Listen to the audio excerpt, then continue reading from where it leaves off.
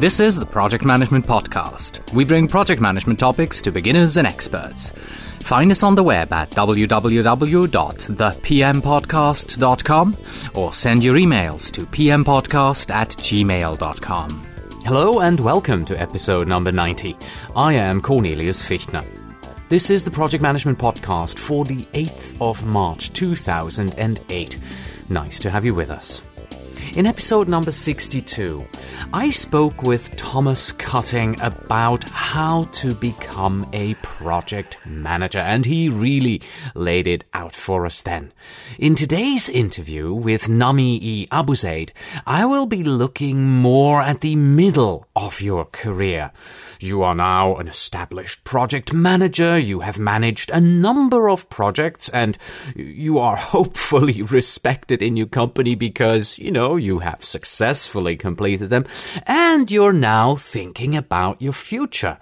Where can you go? What is there waiting ahead of you? Nehme makes the case that because you are a project manager, because, because you meet and have to work with so many people from so many departments and divisions in your company, and because you have seen so many aspects of the company's processes and workflows, you are an excellent candidate to become an executive officer in your company. But before we get into the interview, I have one announcement and one piece of news for you. Today's project management podcast is once again sponsored by Genius Inside, an award winning provider of collaborative project management software since 1996. Genius Inside solutions are easily and extraordinarily customizable and support all the key components of successful portfolio project management, from planning and tracking to detailed reporting and risk assessment. For more information, please visit geniusinside.com and from their homepage, click on the product tour button to get a complete overview of this extremely comprehensive PPM solution.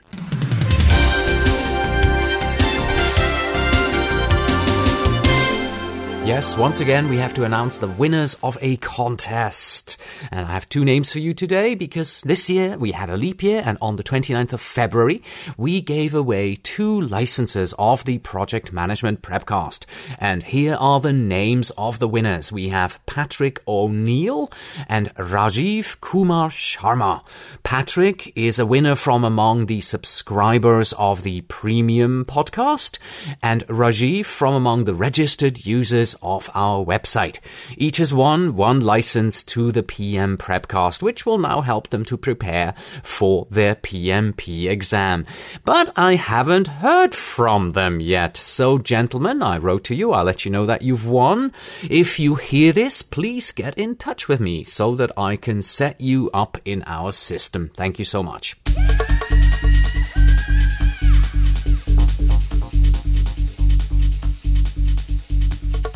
Today's helpful resource is a piece of news that I found on eweek.com, which fits nicely with the interview that you'll hear in just a moment. This um, is about a uh, salary report, a salary survey that was done by Tech Republic and Global Knowledge, and they surveyed IT professionals on topics from job satisfaction to training. But the really exciting data here is, of course, well, job surveys. It's about salary, right? So the really exciting bit is the money and which certifications are associated with the biggest salaries. And not for the first time, and also not surprisingly, the PMP certification brings home the most, and the CAPM is just right behind it. So, in this survey, as a PA, uh, PMP in the United States, uh, I suppose, you earn around 101,000 US dollars and the CAPM is just about $500 below that. So, um, I have one gripe with this salary survey, but also there's one good thing. The gripe that I have for this is it's an IT survey. Dear surveyors, would you please understand that there is more to project management than just IT, and the salaries in IT are generally a bit higher. So, yes, this is good still, even though it's in IT, because it shows to us project managers that the PMP and the CAPM certification are valued, and that if you have it, it will raise your salary. Nevertheless, it would be great to see such a survey done on uh, a few more industries than just IT. They also looked at a few others. For instance, CompTIA's Project Plus is also on there, but it's only 21st, uh, making about uh, 70,000 US dollars of salary. And then they looked at others, the ITIL V2 Foundation, which is at 95,000. And then we get into the really, really IT ones like the CISSP. Uh, which is the uh, Certified Information Systems Security Professional, also at 94, Cisco CCIE Routing and Switching at 93, and there's something that I've never heard of, the CCVP. Uh, so there are a lot of there's a lot of information here about salaries and how much you can expect to make. But for us, the good news is PMP valuable to have, and it will raise your salary. And now our main topic, the discussion with Nehme Abouzeid about using project management as a career stepping stone into the boardroom. Nehme is a project manager and corporate strategist for the Las Vegas Sands Corporation, a company that has helped redefine the business model of Las Vegas resorts in recent years. In his work at the Venetian Las and uh, Las Vegas Sands, Nehme has gained a reputation for successfully leading complex, mission critical technology projects. In addition, he also holds the PMP certification. In an effort to round out his hotel casino management skills, Nehme participates in the Venetian's Leadership Development Program. This is a highly selective program that trains leaders for the company's future. So, without further ado, here's the interview with Nehme Abouzeid, PMP. The Project Management Podcasts feature interview. Today, with Nehme E. Abouzeid corporate strategist for the Las Vegas Sands Corporation.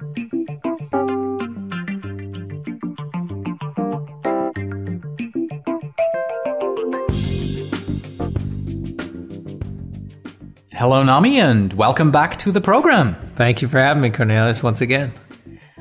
A few episodes ago, actually, quite a number of episodes ago, I spoke to Thomas Cutting about how to become a project manager.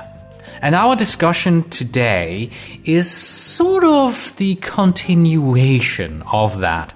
With Thomas, we looked at the beginning of your career, you've just come out of school, and how do you now move into project management? And the discussion today is more at the middle towards the end of your career as a project manager because your intention, Nehme, is you want to move out of project management. You want to move from project management into the executive branch. So, why? Why would a project manager want to change? Well, I think uh, for me, I never saw myself uh, as a project manager being the, the, the be all, the end all of my career, uh, mainly because uh, my career sort of uh, happened in a funny way. Going from business school, where I, I, got an MBA, where I knew I was looking at either being an entrepreneur or trying to run a company uh, of however size, whether large, medium, or small. But that's really the goal of a lot of people who who go for the MBA. But I saw project management. I was fortunate to find project management early on as sort of that first or second job out of business school as a good way to take business management skills or management training and apply it you know with a company to find a niche right away and to try to get early successes with a company. So project manager was my first job out of business school with a major company and a way to demonstrate to them that I could basically be the CEO of a project from beginning to end and to have a success and to build on that success. And early on, it it led to more projects, more assignments. But in the long run, you know, my goal is to make it lead towards you know the the boardroom. Um, and I think I think a lot of people, a lot of your listeners probably share that that goal. And uh, I'd just like to talk about you know how to get there. You mentioned that as a project manager, from your point of view, you're the CEO of the project. I completely agree with that. That that is that is so true because once you're handed the project, you're it. You're on the line for it, right? Mm-hmm. So there are probably two types of, of people who, who are thinking along the same lines as you are. There's the, the person who, like you, came out of business school, fell into project management and is using that to build his or her skill set and then move over into the executive branch. And then there are the people like myself. I, I really don't know where I'm going in the end with my career, of course, who, who love project management, who are in project management, who have built the, the skill set and who are thinking about making a career change. And your argument is what you have learned as the CEO of the project will help you to move over into the executive branch, right? Yes, yes. You know, my project management um, experience and my sort of philosophy is basically just rooted in the fact that anything worth doing is worth doing right. And there's a great quote from Abraham Lincoln that said, If I had six hours to cut down a tree, I'd spend four of those hours sharpening the axe and it's it's about planning. It's just a simple little tale about planning, and and project management allows businesses to do things, uh, to pull off things that that maybe not part of their core operations. And by doing it in a cohesive manner, by following that task list, that project plan, by, by that critical path, that, that's a valuable skill set to have whether it's managing a department of 90 people, whether it's managing a manufacturing company or, or just a, a, technology company, I think the skills are very transportable. And what project management gives you the opportunity to do, especially when you join a big company, is right away lead cross-functional teams, be at the at the table with decision makers when important projects and decisions have to be made it gives you exposure to executives, C level executives, senior executives, vice presidents. It uh, basically gets them to know your name. And if you're affiliated with a successful project, you almost have a halo effect for a while. Okay. They, they say, Hey, that's Nehme. He did that successful project six months ago. I want him. Though they might ask for you by name. Okay. So I happen to have an MBA and, and I also got the PMP credential, but that those were more incidentals. They weren't cause and effect. Um, but now I get as many uh, compliments on the PMP as I do on the M- MBA because PMP is such a hot certification right now, and it's such a skill set that's in demand. So what I tried to do after I joined my company four years ago is immediately express my goal to brought to, to be in general management at the end of the day and I helped them start a management training program. And I was lucky enough to be the first one selected into that program, and I helped them design it. And I helped them write the curriculum. And that was done through our HR department. So as I was managing projects in IT four days a week, one day a week, I was doing a, a rotational management program. And I think the MBA sort of was the driver of that, but also having the PM, uh, knowing I had broader people management skills helped me get selected for that as well. So what I would recommend to people is to look for those management training programs within your company, express an interest in them, try to get in one of those programs, and then let people know you're you see yourself as more than just a project manager, but that you'd rather be an executive who knows project management rather than just a project management executive. Because mm-hmm. Cornelius, you might be aware, a lot of companies don't have director of project management or VP of project management office. Most companies don't have those titles. Yeah. And the few that do, um, you know, offer some great upward mobility for project managers. But, you know, I, I don't think every Fortune 500 company has, you know, that level uh, of, of attention it pays to project management as a function, as a title, as a business unit. I like your approach of, of changing your own internal thinking. Of not saying, oh, I'm a project manager who wants to be an executive. No, turn it around. I'm an executive who currently works as a project manager. Now, when I look at the qualities that you need as a project manager and as an executive, I see, I see major differences here. As the project manager, you're task oriented, you're result oriented. And, and the executive is more, you know, strategic thinking, business development. That's where, where you have to be. How, how would you say we as project managers who are really in this, this task oriented, results, deliverables oriented world, how do we change our mind and, and turn around and say, no, no, no, no, no. Next to that, I also need to be, you know, the innovator, the, the strategic thinker. How do I get there? First of all, if you're managing a a P&L, a pro, you know, profit and loss statement. If you're managing a department that is responsible for revenue and making budget, then much of what you do has a beginning, has an end. It has uh, all the components of a good project plan, sort of uh, planning, initiation, uh, controlling, monitoring, those kind of things. You do that on a daily basis with a business, okay? Whether it's a hotel business or a restaurant business or a technology business, where some of the jobs at the, at the C level um, in, in businesses have to do with corporate strategy um, certainly, those are more put on your thinking cap type positions, and may some of those deliverables may not be as quantifiable as those deliverables on a project management plan. But if you are if you seek to run a business unit from a vice president level and, and manage a profit and loss statement, those what you do can definitely be helped by project management because you're talking about risk. You're talking about performance. You're talking about monitoring performance. You're talking about making incremental improvements. Um, you're talking about adhering to deadlines. You're talking about quality control. All those things that are part of good project management is part of good business management. And the key thing with that is um, you need to just position yourself and market yourself within a company that, hey, I did this on this project. What makes you think that I can't do it um, permanently or, or in a regular fashion, quarter after quarter. And uh, I think the biggest thing with project managers is they're either seen as you know IT project managers, mm-hmm. which happens to be the most projectized department is IT. Construction project managers, um, you know, uh, there's some finance project managers out there, but basically you know, you're confined to your function and you have to break out of that. And you break out of that by leading cross functional teams and showing great leadership, not just showing, uh, you know, pushing IT tasks to completion. It's about showing leadership and it's really solving business problems.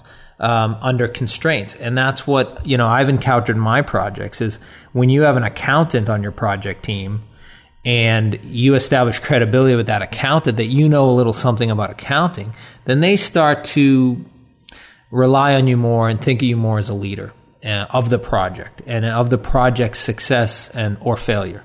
And they start to rely on you and value your opinion when you establish credibility. Whether it's somebody who's an accountant or somebody who's a CFO or somebody who's uh, an operational manager uh, at the line level, you you need to establish credibility. And once you do that, um, they start to regard you as more of a leader rather than merely, um, you know, by your function. Let's assume that I want to take your advice and I want to take the step and move into an executive position. How important is my educational background? You have an MBA. I don't have an MBA. Is it important for me now to go back to business school and, and, and brush up on that and, and actually, you know, change my career and, and, and take that step?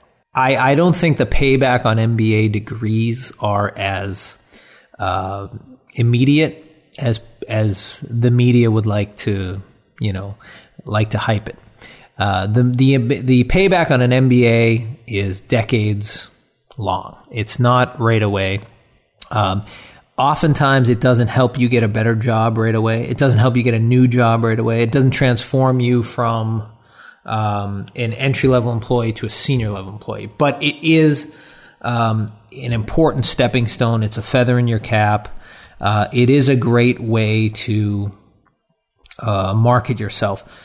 But it, but the reason why I went back is to get those skills in finance and accounting that I didn't have because I had a liberal arts background.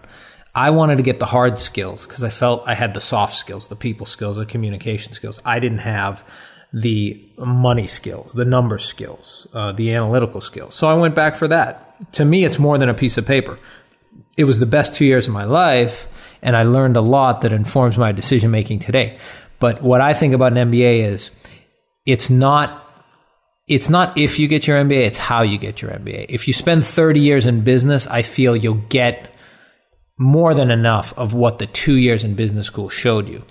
Or, so basically, you can choose to get your MBA up front by doing two years and out, or you can choose to get your MBA on the back end, which is spending many, many years in business. And either way, you're going to get MBA level exposure to business principles. But um, I chose to get my MBA up front and do two years and out. It was a tough two years, but uh, I got it done, and now I, I feel better about it. But people who spend years in an industry and who move up the managerial ranks are, are going to get that MBA, just in a different format. Um, but I just think that what I've noticed in four years of project management, specifically in, in, in the industry I've been with, um, I feel that some of the techniques and some of the principles you learn through the PMI um, and the PMP exam are just just core business fundamentals that are exportable to general management and that, that can be used on the job, whether it's a, let's see, um, a risk plan, whether it's a communications plan, whether it's a, uh, you know, a responsibility matrix, a good little tool. Who's got responsibility on a project?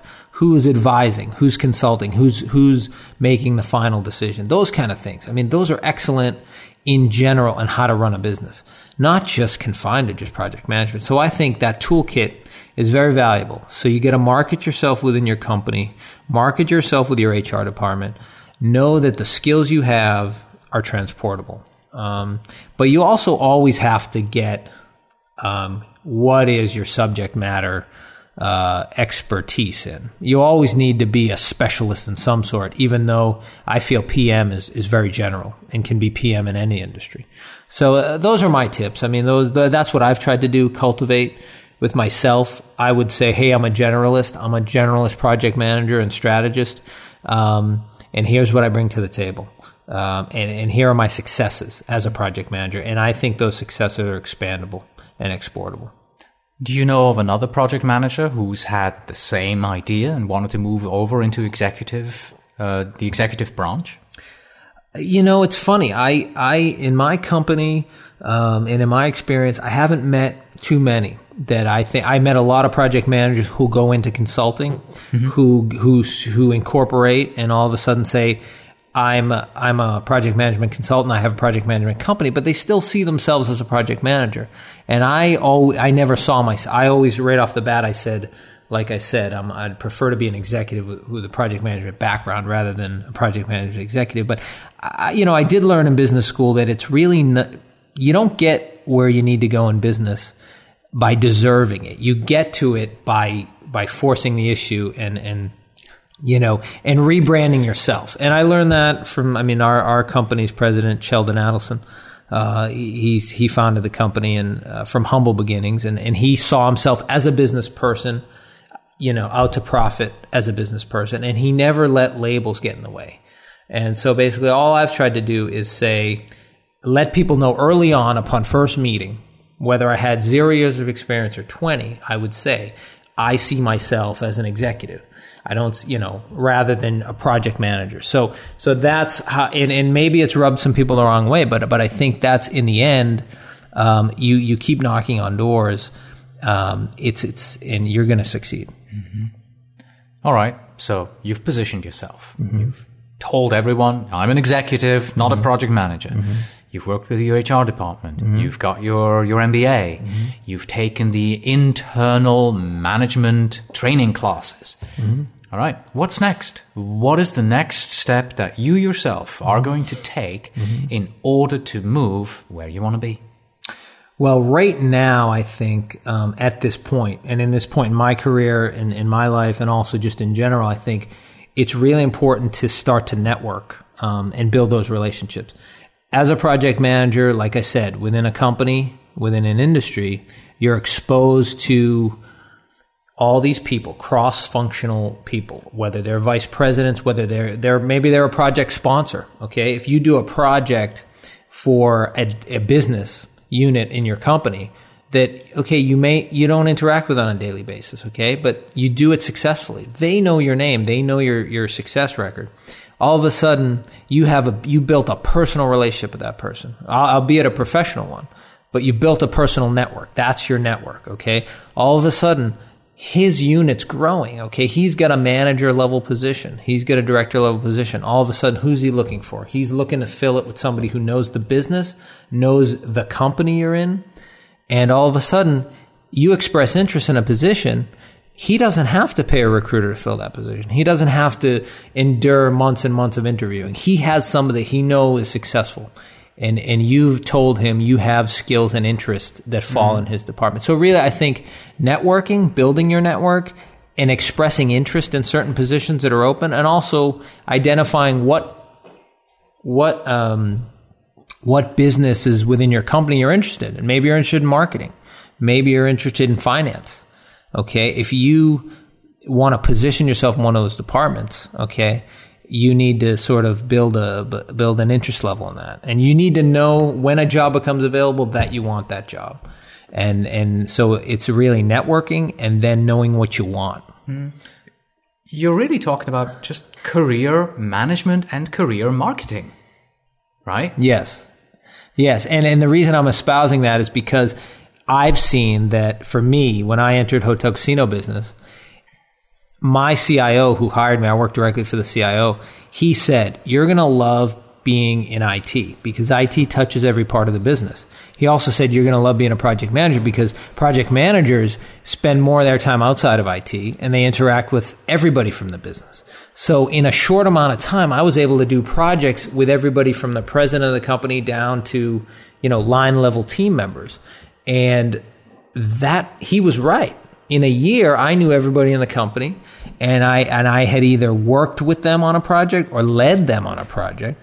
And um, uh, just based on that, my personal network within the company after a year was as good as somebody who'd spent, you know, five, ten years in accounts payable or finance or something who who never got out of their cubicle. So that's why I'm, I'm such a fan of project management positions because it, it really allows you to lead people early on in a, in a generalist or specialist type manner. And I think it's a great career builder. It's been a great career builder for me. I think uh, anywhere I go now, um, it, it's going to have that halo effect of having been with a successful company, managing successful projects. I just think that, um, you know, I think there's a lot of your listeners out there who um, are probably in the same boat uh, you're going to get rejection. You're going to get doors slammed in your face. You're going to get people who want to pigeonhole you as a project manager in one capacity or another. But at the end of the day, you know that, that the fundamentals of project management are exportable uh, to other areas of the business. You really got to believe that. I believe it after four years of, of project management um, in my industry. Uh, and so I'm ready to take off. I'm ready to go into other areas, and uh, uh, and and that's where I'm probably sort of midstream in that in that quest. One question that I had written down here is, and, and you've pretty much answered it already. Why would an up and coming executive mm. even want to bother with project management? But you've just said it. As a project manager, you're out there. Mm-hmm. You see the company, you meet the company, you you can you can do more than anyone in a regular management position who has a cubicle, who has an office, who has a certain area mm-hmm. of the company that they're responsible for, that's all they'll ever see. But as the project manager, you go out, you see how the company works, you work with people cross functional. I had never seen it that way. You, you, know, I got into project management as a means to an end. I wanted to get in with a growing company uh, Las Vegas Sands in a growing industry, hotel casino. This was my sole means to do that without having had hotel casino industry experience. Uh, it was a nice way to drop me in and I'll, I'll, right away give me some authority and some responsibility. So for me, it was a necessary entree into the business. But I also think if somebody has the option of doing it, I think it's it's it's a good option as well. What's your final recommendation to the project managers out there who have now realized that, man, yeah, I am in a good position. I could do this. Where should they start? I would I would take a, a, hard look at themselves and find out what they're interested in and, and how they see themselves. Do they see themselves as somebody who wants, if they're in IT, for example, do they want to get to the top job in IT? Or do they want to use what they've learned to get the top job somewhere else? I myself, uh, because my lack of a, of a technical background, I know I may never get to be CIO, um, even though, you know, nowadays a lot of CIOs come from the MBA type background. But I know that maybe I'll never be a CIO because of my lack of technical background. I know maybe I won't have that credibility. But I know that everywhere, every time I'm in a boardroom talking about business, having that IT experience, having been within IT, uh, gives me credibility within you know those other uh, top executives. So I feel um, they need to take a hard look at themselves, find out what they really want, and then how they want to position themselves. Um, and that that's really key. Maybe they want the best job in their department. Maybe they just want to move up to the, the next rung. Um, you know, project management is a point where it's mature in business. More businesses are talking about project management, regardless of the industry. Uh, they value the the methods that they use.